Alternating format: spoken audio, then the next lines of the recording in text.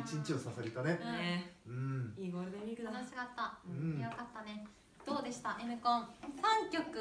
違う。もうゆいも入れたら4曲か。うん。歌って、まあ、今年の N コンの小中高でどれが好き、えまあ、好きっつってもいろんな好きがあるからーうね、ん僕は願い事かな私はねやっぱね君歌なんだよな。なんかストーリーをさ考えたじゃん、こういう表現うんにしようみたいなこれ、うんそれがねやっぱその分掘ったから掘り下げたからっていうのはすげえ楽しかった。ああいいよえねりょうくんこれはやっぱりあれ？編曲？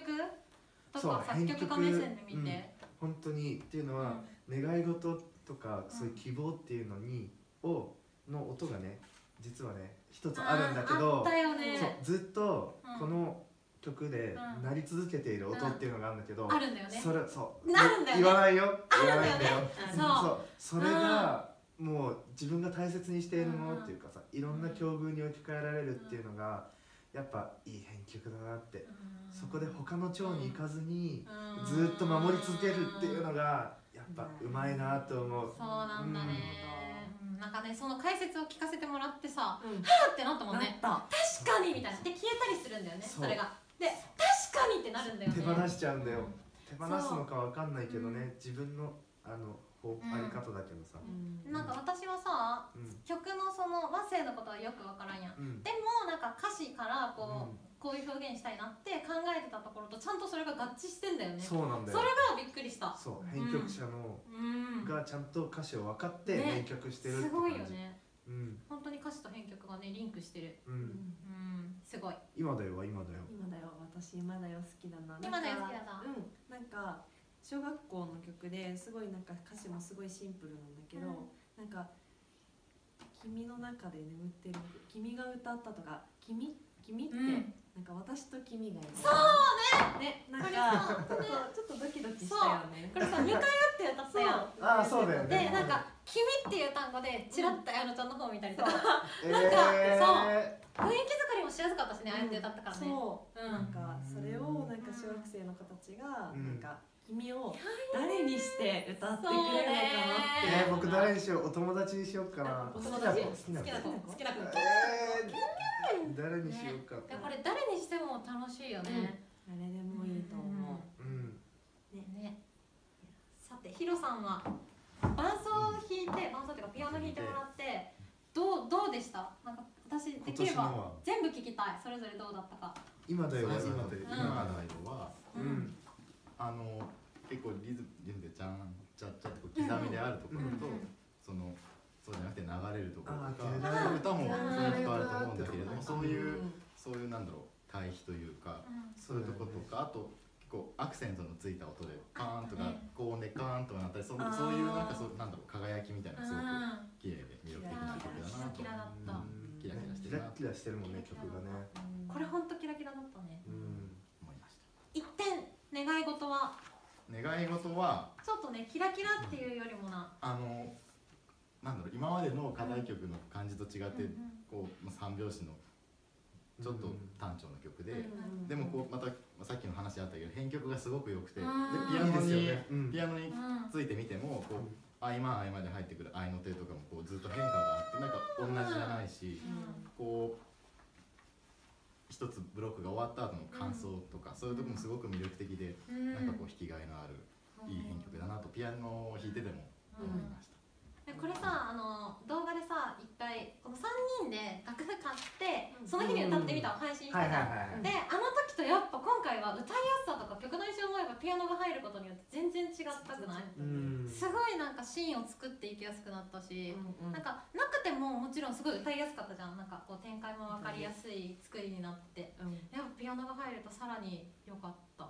ストーリー性も出てくるし。ねうん。ある意味では背景がピアノで完結されちゃってるから、だからなんか歌は固定化されるっていうかさ、おーあーね。あある意味それ分かる。うん。そうちょっとそうかも。硬くなっちゃうっていうか、そうにしか歌えないっていう感じがあったかわらやっぱりさっきもあった表現をどうやってやっていくかっていうので、それ。そういろいろな学校が出ればいいなと思う。そうねうん。なんかそのちょっと話がそれるけど、うん。なんか今だよは結構自由度が高いと思ってて歌い手ができることの、うん。なんかメロディーもなんて言うんだろうシンプルだし、うん。なんかそこに表現を乗せた時にすごい変わっていきやすいんだけど願い事はさっきさこう固定化されるって言ってたじゃん背景が、うんまさに結構それを感じていろいろやってもなんか成功みたいな変わるみたいなのがちょっと今のように比べるとこう少なくて取れるものが、でもだからこそいろいろやってみたじゃん。三拍子どうやろうみたいな、でそれでハマった時のハマって曲が変わった時の喜びといったらないよね。いや結構気持ちよかったし、うん。なんかね願い事の持ち腐れっていうのはもっと大事にしようって思って。うん。ねうん。そうこれもすごい手応えがあって面白かったうね、ん。じゃあピアノから見た君歌は、これもなんだろう歌ピアノがどうというやっぱりこう表紙が変わったりとかうん調が変わったりとか場面転換が多いと思うんだけど、そうん。そういう時にやっぱりこう「うん今君の」とかうん「涙が」とかそういう結構あ一拍目のこのきっかけを出すのが結構多い。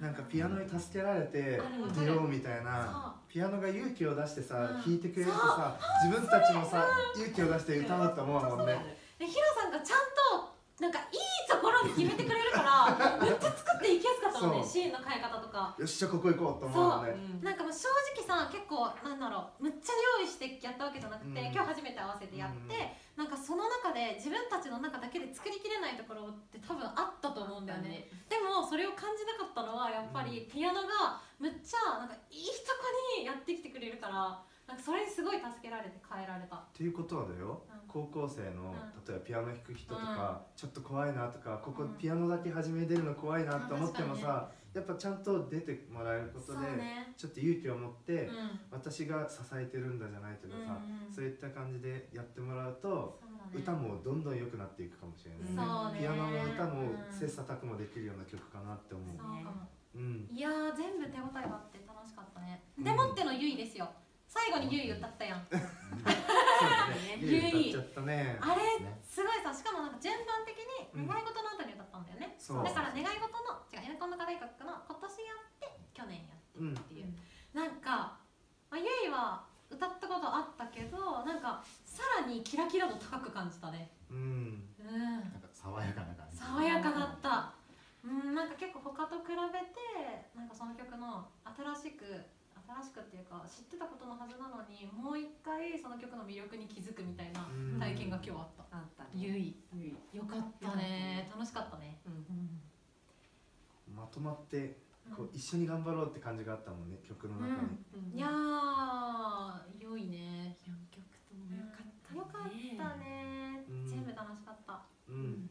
いや。犬コン良いねやっぱ。持ち腐れでしょ あれれれれ推しメン推しメンあれ推しメン持ち腐れだからはい、あそれ綺麗に言われちゃったよ。それの三人は綺麗。ちなみにヒロさんはどれが一押しですか？ゆいですか？ゆいですゆいか。一番付き合い長いしね。今そうあまあ確かにもう2年目だし去2年目そうねだね。付き合いしてますからね確かにそうですね。まあそんな感じで今日は N コンから四曲かな歌って、うん。あともう一曲ねツイッターだけにあげた違う曲もあったんだけど、う。うん。んそうだね、まあどれも楽しかった一日盛りだくさんでしたね。ではまた。